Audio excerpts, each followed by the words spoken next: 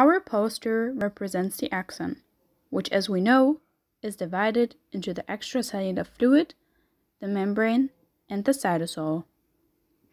The purple ions symbolize potassium, while the white ions represent sodium. The dark blue channels at the membrane are sodium ion channels, and the red ones are potassium ion channels. The sodium potassium ion pump is represented in beige. The plus and minus stand for the voltages within the process. The plugs are represented in pink, and the locks within the channels represent the voltage locks.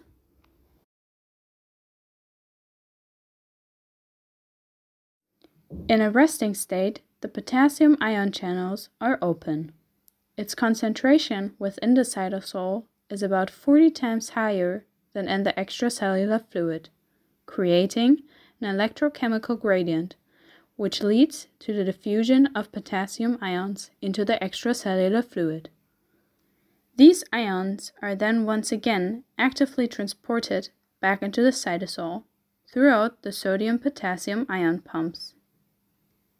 The so called potassium leakage assures a stable membrane potential. During the resting potential, the membrane is not permeable to sodium ions, resulting in an additional electrochemical gradient.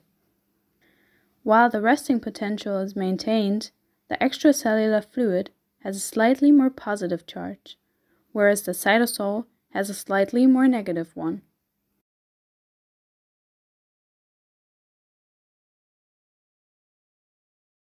Once the neuron is excited by an impulse, a small amount of sodium ion channels open up, therefore the membrane becomes more permeable for sodium ions.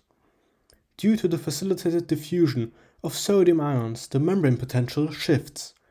The extracellular fluid and the cytosol change to their opposite charge, making the extracellular fluid slightly more negative and the cytosol slightly more positive. When the membrane potential reaches minus 55 millivolts, the threshold is met. Once this occurs, even more voltage-gated sodium ion channels open up, leading to a great increase of sodium ion concentration within the cytosol. In the end, the overshoot is reached. In the beginning of repolarization, there's a lot of sodium inside the cell, more than in the extracellular fluid, which means that we have a concentration gradient. To prevent even more sodium ions from entering the cell or leaving the cell, the sodium ion channels have to be made inactive. We showed that through the little stoppers that close on the sodium ion channels. This is to show that they are not just voltage gated at that point, but really inactive. The sodium ions then travel, move inside the cell, and introduce conduction further down the axon. As this happens, the voltage gated potassium ion channels open up to counteract the change of charge inside and outside of the cell. The positively charged potassium now diffuses along the electrochemical gradient into the negatively charged extracellular fluid.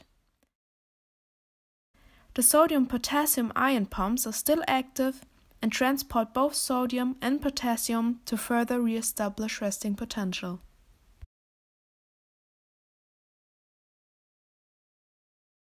Due to the increased permeability to potassium ions and the too slow closure of potassium ion channels, a stage of hyperpolarization is established. This slight undershoot is caused by too many potassium ions diffusing out of the cytosol. In conclusion, the membrane potential becomes more negative than during the resting potential. After hyperpolarization and the closure of the potassium ion channels occurred, the ion distribution is refracted. Therefore, the resting potential is once again created. The sodium ion channels change from the inactive stage back to the voltage gated one, indicated through the lock closure, as well as the removal of the plugs from the sodium ion channels. Not only the potassium leakage takes place once again, but the sodium potassium ion pumps are active as well, maintaining a stable membrane potential. Now the neuron can be excited again. Thank you for your attention.